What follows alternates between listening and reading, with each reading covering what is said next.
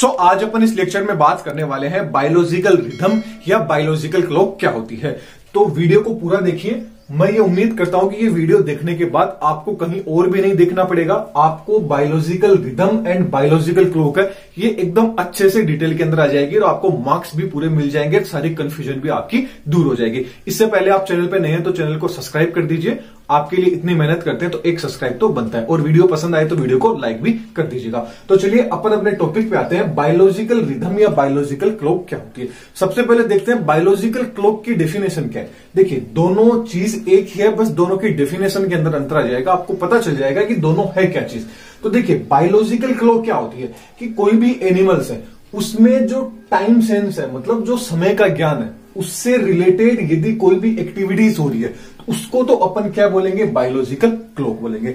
इसको मैं एक्सप्लेन करूँगा, फिर अपन देख लेते हैं बायोलॉजिकल रिदम क्या होती है। दोनों में डिफरेंस देख लेते हैं। तो बायोलॉजिकल रिदम है repetition of activities in organism after regular interval of the time called biological rhythm मतलब कोई भी ऑर्गेनिज्म है, कोई भी एनिमल आप ले लीजिए, उसके अंदर कोई भी एक्टिविटीज़ है, वो एक रेगुलर टाइम मतलब कोई भी एक स्पेसिफिक टाइम मान लीजिए, दस दिन मान लीजिए, पंद्रह दिन मान लीजिए, एक महीना मान लीजिए, एक साल मान लीजिए, उसके बाद में वो चीज़ क्या हो रही है? वापिस रिपीट हो रही है। वो एक्टिविटीज़ वापिस रिपीट हो रही है। इसको क्या बोलेंगे? बायोलॉजिकल रिदम बोलेंगे।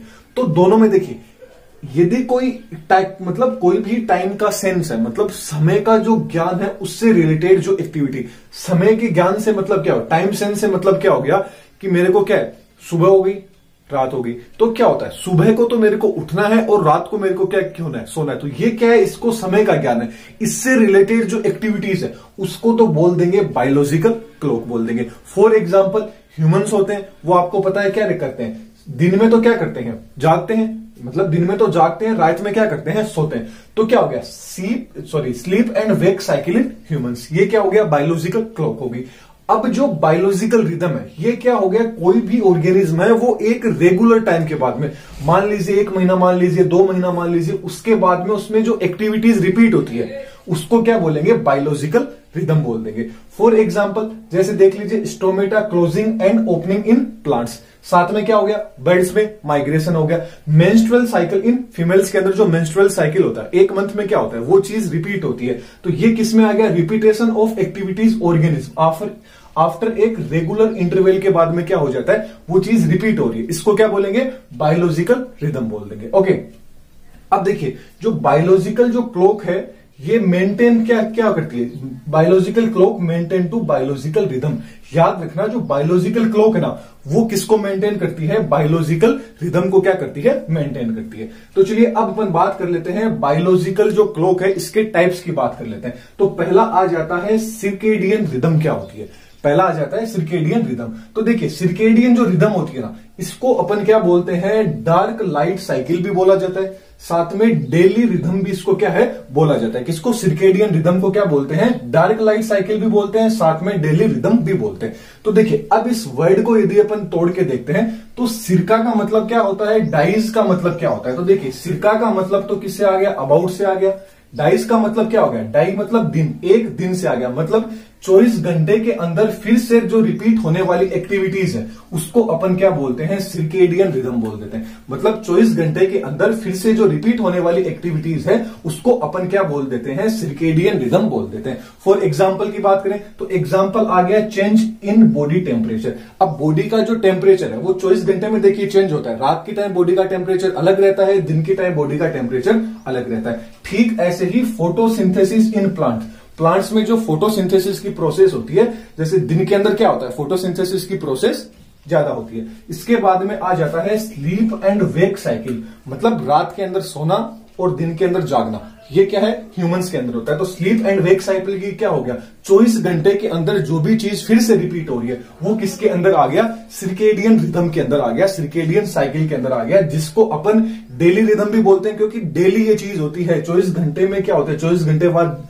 क्या हो जाता है? एक दिन कंप्लीट हो जाए मतलब ये प्रोसेस क्या होती है? हमेशा होती है। मतलब बॉडी का टेम्परेचर हमेशा चेंज रहता है।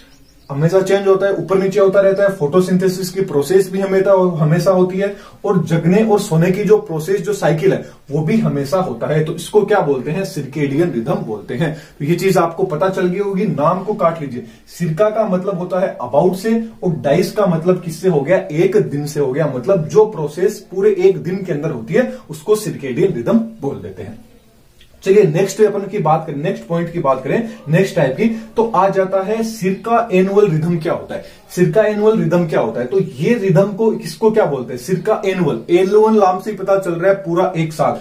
मतलब इसको क्या बोलेंगे? तीन सौ पैंसठ दिन या ए वन ईयर साइकिल भी क्या बोला जाता है? इसको बोला जाता है। तो सिरका एनुअल रिदम को क्या बोला जाता है? तीन सौ पैंसठ दिन का एंड एक साल का साइकिल भी इसको बोला जाता है। वर्ड को यदि अपन तोड़ के देखें तो देखिए, सिरका का मतलब हो गया अबाउट से। किससे हो गया? अबाउट से। और एनुअल का मतलब किससे हो गया? तीन सौ पैंसठ दिन से या पूरे के पूरे one sorry one a day नहीं, यहाँ पे वन ईयर आएगा। क्या आ गया? ए ईयर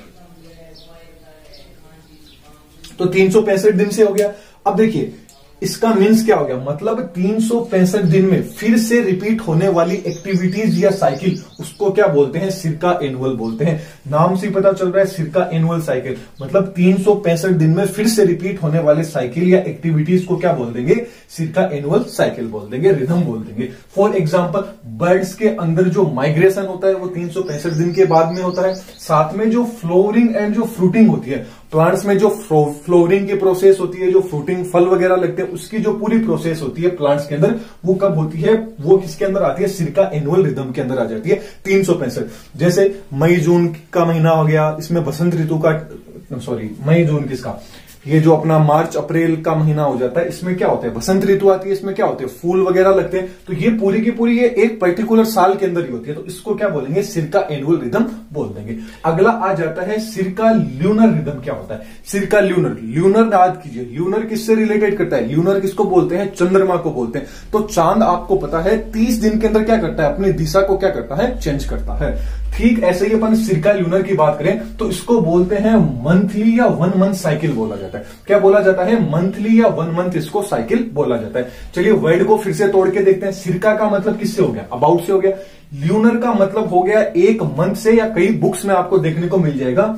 29.5 मतलब उनतीस आपको देखने को मिल जाएगा। तो ल्यूनर का मतलब हो गया वन मंथ से। मतलब डेफिनेशन देख लीजिए। डेफिनेशन नाम से पता चल गया कि एक मंथ के अंदर फिर से रिपीट होने वाली एक्टिविटीज़ या साइकिल को क्या बोलते हैं? सिरका ल्यूनर अपन रिदम बोल देते हैं। फॉर एग्ज़ाम्पल फीमेल्स के अंदर जो मेंस्ट्रुअल साइकिल होता है, वो एक मंथ के अंदर क्या होता है? फिर से रिपीट होता है। इसको क्या बोलते हैं? सिरका ल्यूनर रिदम बोल देते हैं।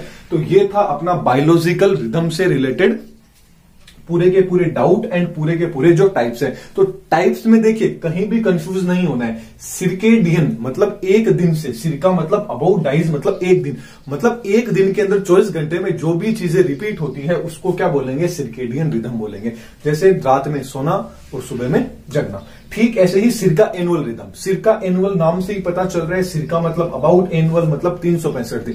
तीन सौ पैंसठ दिन के अंदर होने वाली प्रोसेस क्या होती है? सिरका एनुअल रिदम हो जाती है। फॉर एग्ज़ाम्पल आ गया बर्ड्स में माइग्रेशन हो गया फ्लोरिंग है फ्लोटिंग हो गया प्लांट्स के अंदर। और सिरका ल्यूनर मतलब एक महीने के अंदर फिर से रिपीट होने वाली प्रोसेस आ गया menstrual cycle in females okay तो इसके जो नोट्स हैं वो आपको टेलीग्राम पे मिल जाएँगे। नोट्स आप टेलीग्राम से डाउनलोड कर लीजिएगा। यहाँ सिर्फ़ समझाने के अकॉर्डिंग था। और नेक्स्ट लेक्चर में फिर मिलेंगे। और चैनल पे नए हैं तो चैनल को सब्सक्राइब कर दीजिएगा। Thank you